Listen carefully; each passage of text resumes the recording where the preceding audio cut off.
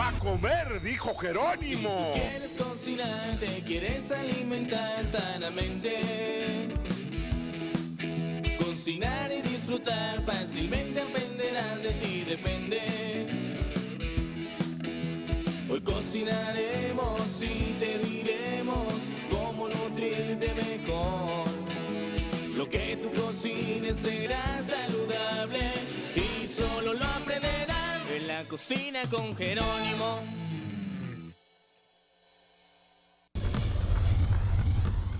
Una buena costumbre para alimentar nuestro cuerpo es desayunar un licuado complementándolo con frutas variadas, una buena porción de proteína y agregar grasa de almendras o nueces. Buen provecho y buena salud. Familia, qué gusto nos da recibirle aquí en la cocina con Jerónimo como todos los días. Una vez más, volvemos a Dios y y qué maravilla que Dios nos dé la oportunidad de vivir un nuevo día, independientemente las condiciones en las cuales nos encontremos. Bienvenido el cambio, bienvenido la bendición, bienvenido todo lo que llega a nuestras vidas, porque a final de cuentas esta vida es un instante y ese instante tenemos que vivirlo plenamente, no sobrevivirlo, vivirlo, pero vivir viviendo familia. Y este día, pues lógicamente nos vamos a divertir, vamos a informarnos y algo muy importante, tomar conciencia. Ya le decíamos a usted, el tomar un licuado en la mañana es una excelente forma de poder desayunar ¿Cómo? Pues perfectamente, porque ese licuado debe de estar combinado en proteína, carbohidrato y grasa. Voy a desayunar rápidamente, le voy a poner frutas variadas y a final de cuentas voy a salir, pero ahora sí que cumpliendo con mi cuerpo, con un buen desayuno. Voy a salir al 100%. Así que familia, pues el día de hoy le tenemos adicionalmente recetas maravillosas, únicas e inigualables que le van a encantar.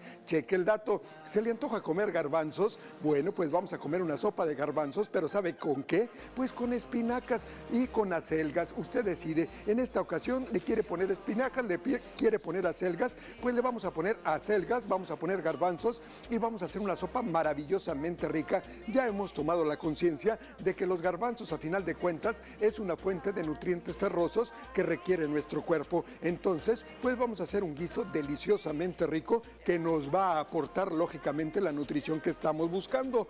Pero se le antoja a usted esos nuggets, esas croquetas, ya no sé cómo llamarle porque hoy en día a los niños les damos croquetas, sí, unas croquetas de pescado, de pollo, pero las compramos. ¿Usted sabe de qué están elaboradas? Pues de lo que no sirve de la carne. Entonces yo le quiero proponer a usted que hagamos unas croquetas en casa, ¿sabe de qué?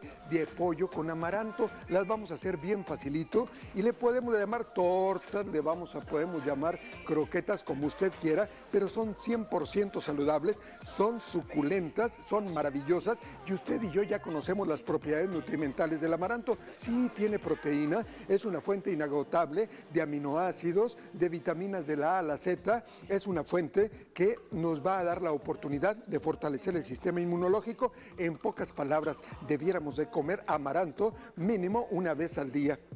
Entonces, pues vamos a preparar estas croquetas, estas tortas de pollo con amaranto de una forma deliciosa y suculenta. Oiga, pero usted también me dice, Jerónimo, justo ese licuado que le estaba diciendo a usted que hay que tomar en las mañanas, pues ¿qué le parece si lo preparamos aquí? Un licuado bien nutritivo que lleva desde cocoa, lleva yogur, lleva plátano, lleva nuez, lleva leche, es suculentamente delicioso y me voy a asegurar que toda la familia nos vayamos de casa bien desayunados. Entonces la receta completita en cuestión de minutos. Pero familia, usted también me dice, ya se me está quemando la carne, muchachos.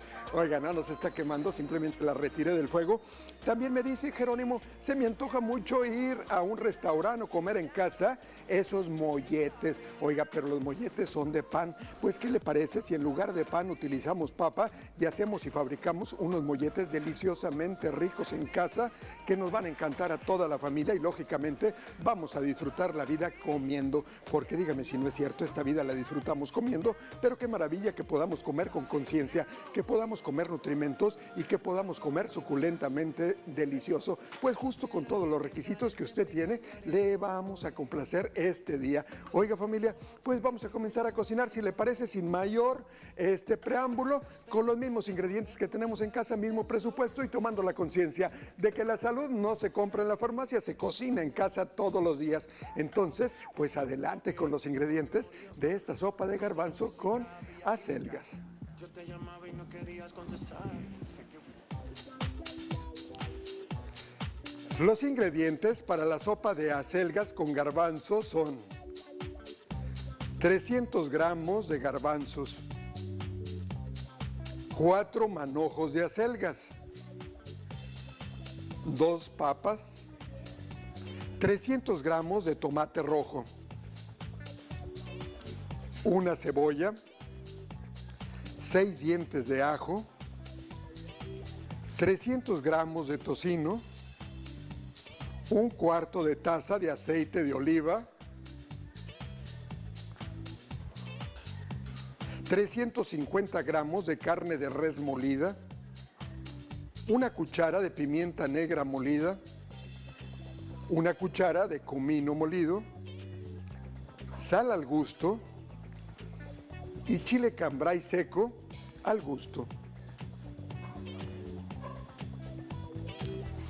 Oiga familia, pues es una sopa realmente deliciosa, única e inigualable que debiéramos de comenzar a cocinar en casa cada que se nos antoje comer sopa, porque hoy en día esa conciencia de comer la nutrición ya la tenemos, pero no sabemos cómo. Jerónimo, no tengo dinero para gastar, no tiene que gastar más dinero, únicamente querer cocinar rico, delicioso y suculento, pues ya sabe que los sabores se fondean de forma natural y de forma pues muy sencilla. En mi sartén puse tantito aceite de oliva, puse la cebolla, estoy poniendo el ajo, voy a poner los tomates y lógicamente el resultado será una salsa, un puré verdaderamente maravilloso, único e inigualable. Ahí lo estoy tapando. Por otro lado, familia, los garbanzos, pues no le voy a dar una clase de cómo cocinar garbanzos. Los vamos a poner a hervir en agua, vamos a dejar que estén suaves y una vez que ya está suave, lo único que voy a hacer, pues dejarlos naturales. No los voy a cocer con sal, pero sí algo muy recomendable. Hay gente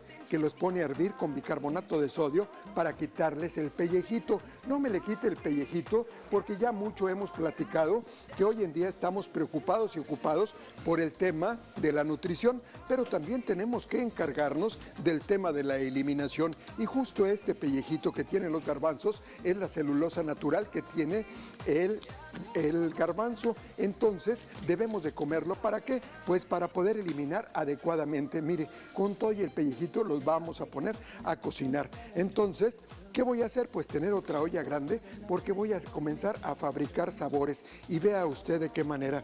Pues mire, esto realmente se está cocinando y está quedando delicioso. ¿Qué voy a hacer una vez que se haya cocinado? Pues algo muy sencillo familia. Voy a ponerlo en el vaso de la licuadora y voy a proceder a molerlo. Cheque el dato, no tiene mayor ciencia. Molerlo muy bien. Yo ya me les adelanté y ya molí una parte de este tomate, cebolla y ajo. Jerónimo, queda muy descolorido, mire, así le va a quedar a usted. Pero esto ahorita va a tomar mucho color con lo que son las acelgas. Entonces ya está aquí todo el sabor y mucha nutrición. Lo voy a vaciar a mi olla y va a comenzar a hervir, lógicamente está caliente. Pero, ¿qué voy a hacer? Ya sobre el puré de tomate, pues lo que voy a hacer es lo siguiente, vaciar los garbanzos, que aquí están, que ya están cocidos, insisto, no, no me los vaya a poner crudos familia, porque a final de cuentas esto ya debe de estar totalmente cocido el garbanzo. Luego, lo que voy a poner, cheque el dato, qué manera tan fácil de hacer una sopa nutritiva, pero lo más importante, deliciosa. Voy a agregar un poquito más de agua, ¿sí? Tantita, nada más, tantita agua. Cheque el dato. Luego, familia, lo que voy a agregar es tocino, pero el tocino, familia, cheque el dato, mire, aquí lo tengo. Ya, ya lo cociné, ya le quité toda la grasa y me quedé únicamente con la bendición del sabor y lógicamente es una proteína. Ahí lo voy a agregar y voy a dejar únicamente tantito para decorar en la parte superior. Entonces mi sopa va a ir tomando un sabor suculento y delicioso. Luego lo que voy a agregar tantita pimienta molida. Vamos a agregar tantito comino. Y en esta ocasión voy a agregar, familia, tantito chile cambray partido en pedazos grandes, únicamente para que tome un sabor delicioso y un picor muy leve. Voy a agregar tantita sal y ahora lo que voy a agregar y quiero usted que vea es lo siguiente. voy a agregar las espinacas que previamente hay que tener cuidado que las espinacas las lavemos muy bien, tener cuidado que no vaya a tener pues un gusanito, una campamocha, un, pues lavarlas bien y luego desinfectarlas con plata coloidal, dejarlas secar y luego las voy a partir en pedazos grandes. Así ese volumen lo voy a agregar. Y luego familia, algo muy importante, cheque el dato, lo que voy a hacer, la papa, si es una papa grande, póngale una. Si es una papa chica, póngale dos. Lo que voy a hacer, yo ya cocí mi papa a vapor. Aquí está la papa. Yo únicamente la voy a partir con todo y cáscara porque recuerde, la nutrición de la papa está en la cáscara. Ahí es donde se encuentra la mayor parte de la nutrición y aparte también se encuentra familia pues eh, ahora sí que la proteína de la papa. Esto lo voy a moler y voy a hacer como si fuera un puré para vaciarlo a mi sopa. Pero usted me preguntará, Jerónimo, son muchos carbohidratos y es muy poca la proteína. Pues le vuelvo a recordar, el plato del buen comer debe de tener 50% de proteína, 40% de carbohidrato y 10% de grasa. Es por eso, chequen el dato, que yo ya cociné carne molida. Aquí está lista la carne molida. ¿Para qué? Pues para agregarlo a la sopa. Sí, la carne molida de res, yo ya la cociné solita, se cocinó en su propio jugo, únicamente le puse tantita sal. Ahí está, voy a agregar la pap, la carne molida a mi sopa. Ahí está lista. Sí, todo se va a ir cocinando delicioso. Ahorita se va a cocer la acelga y lógicamente va a fundirse con toda mi sopa. Mire cómo queda la papa licuada. Pues ¿para qué le voy a poner esto? Primeramente me va a dar un sabor bien rico, es una combinación perfecta, pero luego, lógicamente, con todo el sabor de todo, me va a dar una textura deliciosa, eh, como si fuera cremosa. No me va a quedar un caldo aguado, no me va a quedar, este, ahora sí que me va a quedar como una sopa deliciosa y suculenta. Imagínense los sabores combinados ya con todos los ingredientes, pues no va a quedar una sopa rica, va a quedar una sopa verdaderamente deliciosa y única. ¿Qué voy a hacer? Pues cheque el dato. Voy a tapar y voy a bajar a temperatura media baja.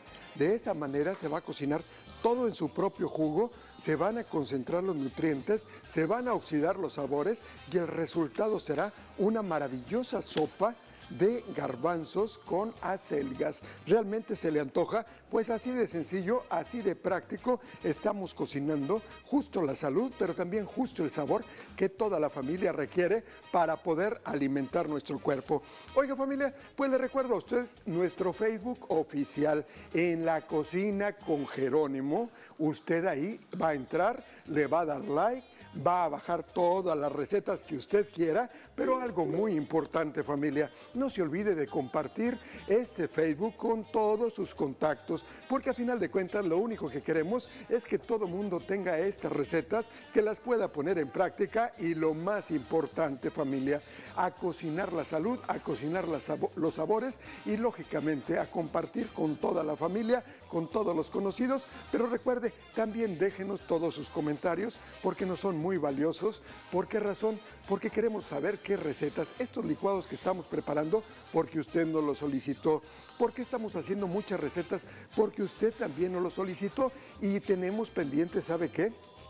Las recetas para toda la gente que está justo en esa transición hormonal. Sí, que está pasando justo por una transición hormonal que requiere esas recetas para fortalecer todo este tema. Entonces, próximamente la estaremos atendiendo. Les recuerdo el Facebook en la cocina con Jerónimo.